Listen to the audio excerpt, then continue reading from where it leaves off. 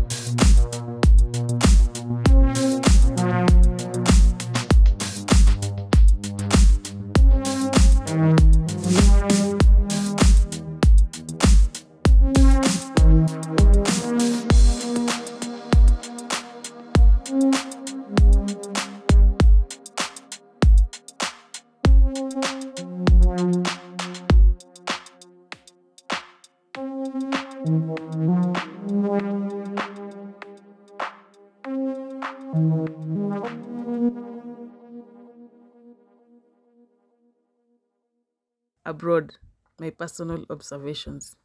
See you next time.